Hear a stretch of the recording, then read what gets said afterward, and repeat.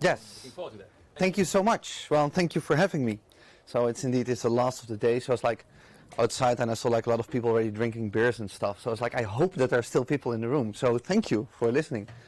So this is like uh, last year. My my colleague Etienne was here, and he he presented for the first time Weaviate and what we're trying to do. And we've done a lot in a year. So today I want to um, I want to show you actually an update and, and way more things about Weaviate and a lot of things have changed, also the things that we've changed into. So quickly, the agenda, what I want to talk about. So first, I want to talk about what it is, because we're you know we're new, we're new on the scene. So eh, so what is it? Secondly, I want to talk about what has changed since last year, what was presented here, and this year. Um, I want to talk a little bit of the about the technology, and last but not least, of course, I want to give a demo. I want to show it in action. All right, so that's the uh, that's what I'm going to do. So first about the um, about Weaviate. So Weaviate is an open source smart graph. That's what it is. And what we mean with that, well, the fact that it's open source, that is the usual suspects, right? So source lives on GitHub, but you can use that uh, using Docker, Docker Compose, and Kubernetes. So we have that all out of the box for you. It is smart because of something which we call the contextionary. And if you never heard about the contextionary, that's fine, because we invented it, and I'm about to explain to you what it is and what it does. Um, and I want to use, I'm going to use one buzzword. Sorry for that, but what I but it, has a serious it's it has a serious notion. So sometimes people talk about like the AI first architectures. So like can we build systems that have like these machine learning models built into them? That we can build new solutions and execute new ideas and that's what we try to solve with semantic models. So what makes it in our case what we like to call smart is the built-in semantic model. And the graph is well I don't have to in this room I don't have to you know share to you what the graph is, but the we uh, we've chosen to use GraphQL and the reason why I've done that is because we see, of course, there's like a lot of graph experts, you know, use SPARQL or Cypher or those kind of things. But sometimes when we have developers who find it a little bit more difficult, uh, we see that they really like to work with GraphQL. So we really embraced GraphQL, and it's like completely 100% GraphQL based. So that's how we define what our smart graph is. And with a smart graph, you can do three things. First thing is semantic search. So what you can do, and that's also what I will demo to you, what we know from traditional search, if I may call it like that, we search for keywords. Right? So if we write about um, uh, uh, the company Apple, we actually need to search for Apple. But in Weaviate, you don't necessarily have to. So if you add company with the name Apple, but you search, for example, what's the company, the business related to the iPhone, it will still find your data object, company with the name Apple. What we also can do based on that is automatic classification. So we can automatically make edges in the graph based on the semantics of your data object. And last but not least, we can do knowledge representation. And this is often what's always also referred as like nowadays, eh, it's like uh, it's the knowledge graph, but it's like I wouldn't say we're necessarily a knowledge graph, but the you can create those similar uh, uh, representations. So those are the three things, the three use cases that we can help you with. So something important to share um, uh, based on what we did last year. So um, the best way to explain is a little bit on time. And what I mean with that is like that we saw, of course, a lot of databases in the past that were more relational based, right? So just you know, um, row uh, column structures, uh, row column structures and tables, and then of course we got these um, uh, graph databases. Eh? So for example, I had the people from Neo are in the room, so they made a beautiful, eh, beautiful database like that. And we chose a year back to store our information with Janus. And what we did was that we had that semantic element, that what I will explain, the contextionary, I will explain what that is. We had that as a feature. But last year we decided to just double down on that semantic element. So we got completely rid of the, um, uh, the implementation in Janus and we created basically everything ourselves. And we, that means that we now only have that contextionary to store that information in. And we've actually, this is a crown, so we actually figured out like this is actually we're really happy that we made that decision because now we could really bring something new, you know, to the to the stage, something different and a different way to handle your data objects and work with them. So we store everything in a semantic space. That's what we do. And now if you go like, what? Semantic space? I'm going to explain what we mean with that. So, but just keep thinking when I talk about semantic space, I'm talking about the contextionary. So, imagine it like this. If you go to a um, uh, I'm compliant, as you can see. let's say if you go to a grocery store and you have a shopping list, and on that shopping list you might have four items. A banana, um, washing powder you're looking for, an apple, and a piece of bread. So if you go in the supermarket and you find a banana, you know that an apple is going to be closer by than the bread or uh, the washing powder. And if you move towards the bread, you know that you're actually getting closer to the washing powder and moving more away from the fruit. That's how we store data in the space. And so that's the metaphor to actually imprint um, uh, the problem that we solve. And we do that to something that we, that we call the contextionary. And I want to give you a little bit of background where we're coming from and um, uh, what's different to other um, uh, solutions that are around here. So if you go all the way back, again time, to the, uh, uh, to the 1950s, there was like a famous quote and it said like, a word can be characterized by the company it keeps. And what that basically means that you would say that the word Paris would be more closely related to France than it would be to um, uh, Holland, for example, or the US. And New York would be more closely related to the US than, uh, uh, for example, uh, Spain. And that basically went for all words. And a lot of research was done there, and then we jumped forward, and then with the whole machine learning boom, we saw there was a lot of work being done with, um, with based on machine learning and these word embeddings. And then what we also saw there was, uh, there was like, we got first word2vec, got GloVe, and nowadays uh, what they call in the academic realm, which they call a state of the art, it's called BERT. But if we now put on our engineering hat, we really fell in love with GloVe. And why did we fall in love with GloVe? Because BERT has multiple representations of a word in that dataset, but GloVe doesn't. GloVe has one vector representation for every word. And the critique that it often got was that, well, if you, for example, have the name Apple, Apple can mean, of course, um, fruit, but it can also mean uh, the company. And um, but we wanted to solve the problem in a different way. But as engineers, we were very happy with this because now we could index it. We could index those words in a uh, storage mechanism. So if you start a Weaviate, you can imagine it like this. It's an empty space that you start. You choose a language, not a programming language, but a spoken language. So let's say, for example, English. And the, the space is filled with all those words. So, for example, if you find apple, you find nearby fruit, you find nearby company, uh, and you might also find iPhone. And these representations that we store, they have a 600 dimensional representation, which is very fancy, but just it has to do with compression, that kind of stuff. Um, and the thing that we did is this. If you store a data object like this, so for example, the class company with the name Apple, founded in 1976, etc., and in, when I demo, I will show you how that actually works. But if you store the information, what Weaviate does is that it creates a string of the words and the concepts that are in there. And it takes those concepts and it funnels them down. How does it do that? It says like it takes the Euclidean distance, it combines it with a, uh, this sounds very fancy, but with a logarithmic function based among the occurrence of the word. So for example, company uh, might occur less often than the word apple. So then we say the word company is more important. And then we even work with word boosting so that you can say certain words are important in my data object. But what we do with that is that we create our uh, uh, our first object in our graph. And it gets its own vector representation. So now if we have an empty Weaviate with those words in that, and we store our first um, uh, data object, as you can see there. There it is it lives, that's where it lives in the vector space. That's what we mean. So now if we query for, let's say, um, a company and iPhone, it can look in the nearby space and find the data object. So now, without even having iPhone in the data object, we can still find it. And that's the thing that we created, that we thought, okay, this is this is our thing, right? This is our, our golden goose egg because now we have different ways of creating graphs and actually query through them. So this example, for example, might look something like this. So if I have a, a data set with companies, and this would be my GraphQL query where I say, get, give me things which are companies, and I want to have their names, but explore them by iPhone, I might get this result, Apple. And as you see, iPhone is nowhere in the data object. And if I have that same da da data set, then I would say, well, a little bit more abstract, organize these companies um, uh, on the concept of Redmond, I might get back Microsoft.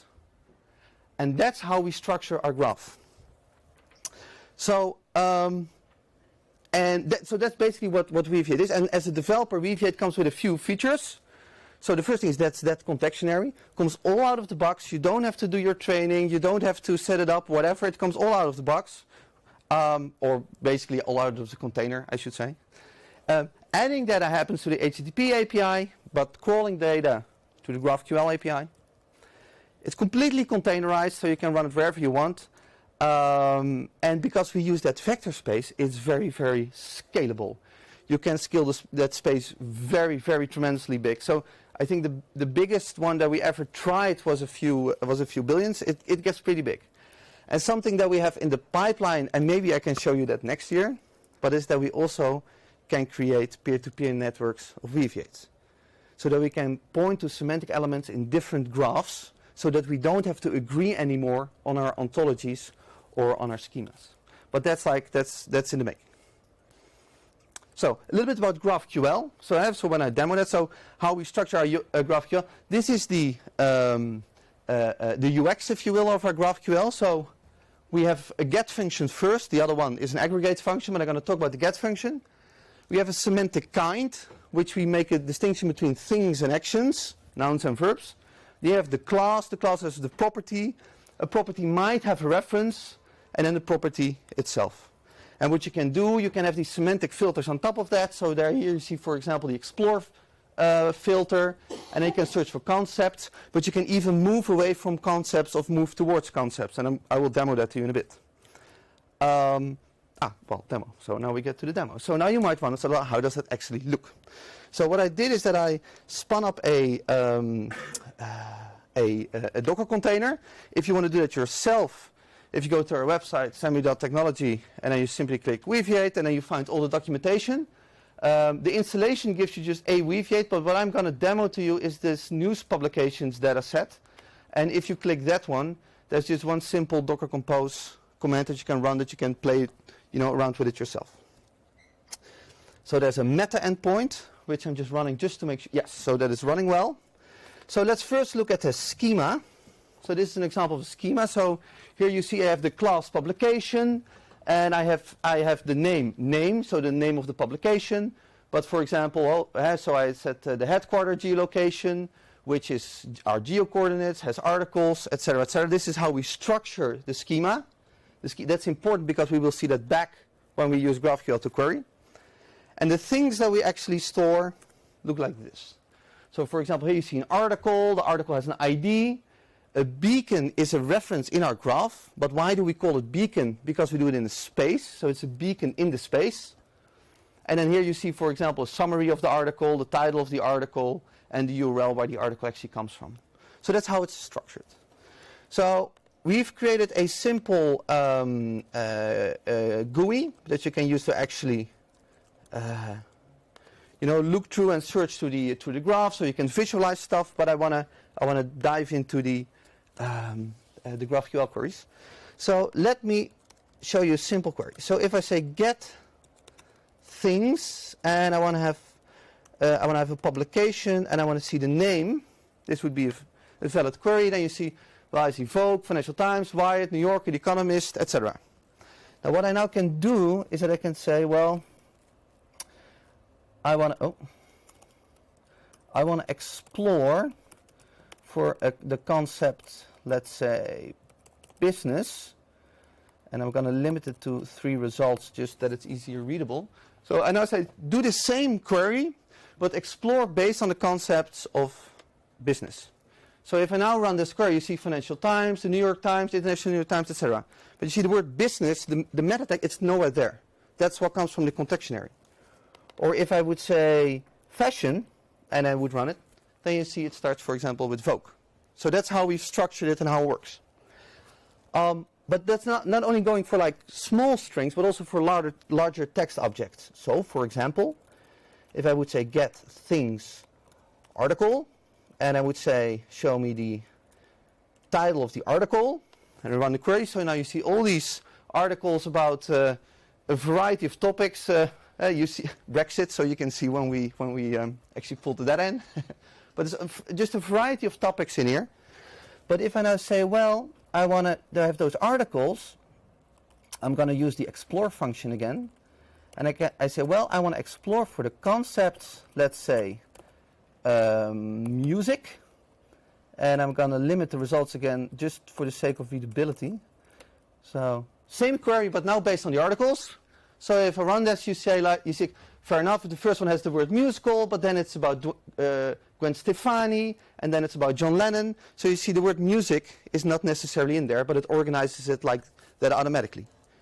So now even if you want to filter further in this, uh, in this graph, what you can do is that you can say, well, um, the, the, question we had, like, so how do we do pagination? Because if you have a 600 dimensional space, what would be the next uh, um, uh, page? So what we've done uh, is this. So we said, well, we can actually, for example, move towards a concept. So I can say, well, um, move towards the concept, for example, of the Beatles. So I guess you already know what will happen if I do that. So, and I give it a certain force. The force is how strongly you want to push towards this concept inside the vector space. So let's say it's a little bit arbitrary, but let's say 85%. So if I do that now, you see that John Lennon, the article with John Lennon comes first. And if I say like I'm more like a Stones person, I hate the Beatles, then of course you can also do move away from the concept of the Beatles. Same query, and we see um, John Lennon is gone. And now the question is like, okay, so what makes it? So like now the traditional graph people are going like, yeah, but I haven't seen really the graph in action yet. So that's just very simple because we could say, for example, has authors, and then we can say on author. Um, the author has a name, so this is how we structure the graph. So now you see, huh? so you see the graph object here. That is first the title of the article, and it has authors, and then actually the authors that are related to this um, to this article. Um, I think if time allows it, there's one more thing. Can, can, I still quickly show one more thing? Yes. So the, uh, there's one more thing which I completely forgot because there's another problem that we also tried to solve with this, and I want to show you that going back to the publications. So quickly going back to the publications, things, publication, and then I say a name of the publication. When you, when you glanced over this, you might have noticed that we have all these publications, but we have the International New York Times, the New York Times Company, and the New York Times in there three times, which is a problem because, of course, we want to represent concepts, but in a database we have the same concept represented three times. So we have something for that. Um, what we can do is that we can say, well, we want to group concepts together. So then we say, I'm going to do the type, merge them together. I'm going to give a force, so how big do we need to look in the vector space before merging? And then I can say, well, do that with 5%. So if I now run this query, you'll see that it merged together the International New York Times, New York Times Company, and the New York Times. But if I now do a graph query, so I say has articles, on article, the title of the article, it even now merges together those different articles from those different publications into the same concept. So that's what we have. That's how it works. Uh, oh, way more features. The automatic classification, I didn't even get to show you that, but you can play around with it because, well, we're at FOSDEM, so this software is open source. you can play around with it. You can set it up yourself. You can create your own graphs, um, semantic graphs, I should say. Uh, that's my story in a nutshell. Thank you all for listening. And um, if you like it and if you go to our website, then I just have one question. Uh, so this is our website. If you go here, then you can sign up to our newsletter if you want to learn, or you can click on the GitHub star button if you want to. I will promote it a little bit. So that's, uh, but this is our website. Thank you very much for listening. Thank you. that was a very great last talk for our dev group. Thank you very much. Thank you for having Um, me. we have time for some questions. I actually, so thank you for the talk. It was actually very nice. Thank you. For the ideas, of course. Uh, I actually have two questions. You said that your semantic, uh, so let's say, embeddings are based on GloVe, but for larger text sentences, would you do a simple averaging? Because GloVe is a word embedding uh. And the second question is, I guess, so you showed us in examples queries based on single words, but can we actually input uh, a sentence? In that case, I suppose uh, your model will have to cook up uh, a vector embedding for that. Is that actually sustainable if I put it on a server and then everybody tries to you know run your model uh, to get their embedding? How did you solve that? Yeah. Let's say resource problem. So two questions. Sorry about that. No, no, but uh, why are you sorry about it? So no, that, those are great questions. So let me let me start with the first uh, answer to the first question. So um, and and sorry if I went over that quickly uh, too quickly because it's um, um, and this whole everything what I told is also on the website in detail. Um, but that's what's happening here. We always use the same algorithm. So if you would have a data object with a longer sentence, like for example the summary or the title of the articles that you've seen, it applies the same um, uh, uh, algorithm. So it says like first I take all these individual words, then I find the center position between those words, then I weigh them based on the occurrence. So certain words are seen as more important than others, so it weighs it towards that. Um, and then we have this optional word boosting that you can say, well, in this specific case, this word is very important, so move more towards that. That's how we create those vector positions. So regardless if you're querying or if you're um, um, uh, um, adding data, that's how we do it. So that's why we also became agnostic about the fact that gloves about single words. And because we learned that if we, so we, the first prototype we did way back was very simple. We say, okay, I have the word apple. Show me what's nearby. And then as you would expect, as Glove does, it says like, well, I found iPhone, but I also fo- found fruit. And then we did something very simple. We said, okay, now go and sit in the center between Apple and iPhone. Show me again what happens. And then you see actually um, um, uh, that that's successful. And if I, if I may, I can actually sh- quickly show that. Yeah, I'm the last talker, so thank you. thank you. Shit, I should have waited till you had said go ahead, and then thank you. So um, there's a contextionary endpoint uh, where you can say, well, concepts. So if I now literally do what I just said, so if I would say uh, Apple, then you see here Apple, iTunes, Google Preview, and and now, of course, in this example, we don't see, uh, of course, the fruit. But let's say if I would do Apple and not based on the company, but on fruit, so I concatenate them, Apple and fruit. You see how it now starts to get better and better in those results. So, and that's how it, the algorithm works. So you can play around with this also yourself on this uh, on this endpoint. And the other question? Yeah, it was uh, since these, uh, I guess that the weights, now that I, you know, better look at the slide, are kind of uh, TF-IDF weights in a sense, at least the one frequency. So if, and you have to, you know, hook up these uh, vectors for the embeddings every time we make a query, is this sustainable for a normal server? Do you have some solutions there that you can tell us? Yeah, sure.